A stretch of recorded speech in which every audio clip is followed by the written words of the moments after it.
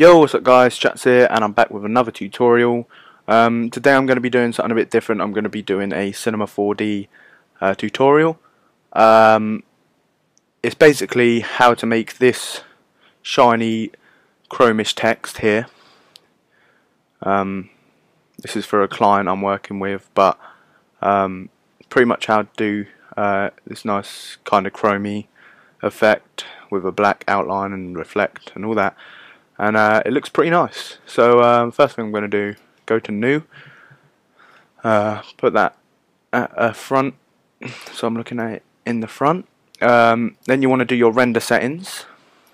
Um, I have a preset so I'm just going to load render PNGs and then you go here. Um, I'm just going to save it here. Uh, call that top 3D and then output uh, this is how big you can put how big you want it. Um, usually I go for something like 920 so it's massive and I can use it on quite a few things like backgrounds and stuff. Um, so that's pretty much render settings done. Um, I'd show you how what my preset is uh, the settings of my preset but I made it so long ago I can't even remember how to do it. Um, and I've just used this one ever since and I haven't had to change it. So just try and find a tutorial on that because um, I'm not quite sure how. Uh, then we're going to create oh no first things first go to render and render PNGs or whatever yours is called and that will make it widescreen or whatever or the size you've got. I'm going to go here go to text just insert any text um, there we go. I'm going to use that same font which I used in the one you just saw. I don't usually use this font but it looks quite good in the, um, in this style. Pull the spacing out a bit. Uh, in fact I'm going to change that. I'm not going to use that font. Um, I'll just go with typograph. Make it semi-bold. Bang. Pull that back in. In fact, I'm going to make it bold, uh, extra bold. There we go. Right, now we've got that. Um, we don't want that spline there. Just delete that. Uh, go to here and click extrude NURBS. And then just take the text and drag it into like that. See what I've done there? It will come up with that little box.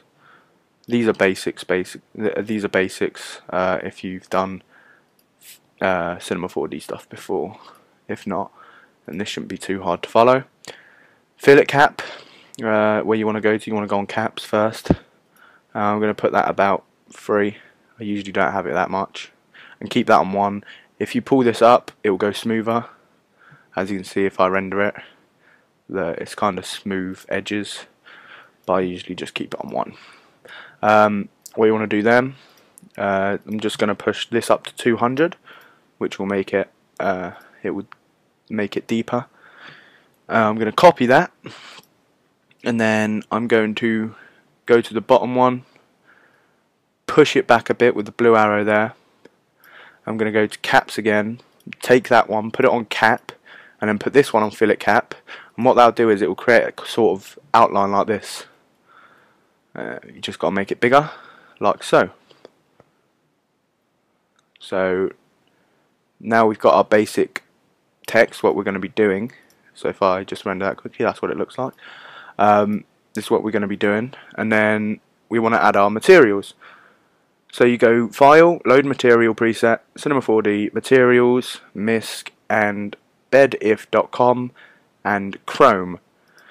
Now that's a lot of uh, little extensions, um, but I'm not. You should have all of these, um, hopefully. Some dickhead next door is shouting at the top of their voice, so if you can hear that. Um, oh, and a dog, and a dog, if you can hear that. Uh, but anyway, so yeah, you should have all them. Um, the, if you've got all these, they come with some great materials that you can use. Uh, there's some great stuff in here if you haven't seen that before, so that's a nice tip. Just drag the chrome onto the top one. Dog's still barking. And then we're going to create the black one. So just go create a new one, go to color, clearly just make that black reflection uh, what we do here go to texture click that little arrow and go to Fresnel and then put brightness at 50 or 50 whatever 51 and then mix strength at 20 and then that's it. That's all you need to do to that and then put it on the bottom one. Now if I do that that's what it looks like. Now you can't really see the black because obviously the background is also black so it's kind of awkward. Um, but I'm just going to make this a bit smaller because it's a bit too much of an outline that would do um, uh, now next is lights. Now I don't really do that much with the lights. I just go here, click that, go to shadow, and put shadow maps, uh, soft. Select that, uh, bring that up there, put that in the middle, leave that one there. Now all this really is is copy and pasting and moving these lights around. Uh, so copy, paste, just Command C and Command V, obviously. Oh, sorry, that's my phone. I'll mute that. And then do it again. And basically just going to make it so all the edges are shining.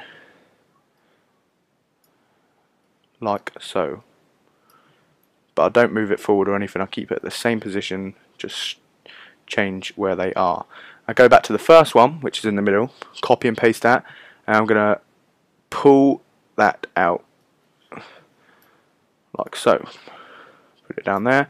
Then I'm going to click this uh, green one here, which is an array. I'm going to drag the one, I, the light I just done into that, so it will make an array. Now pull that up to make it bigger. I'm just going to pull it down like that, and let's see what that looks like. There we go. Um, that's pretty much the basics of it. Uh, you can just add a rounded thing to see what it looks like instead. Um, and it's your choice.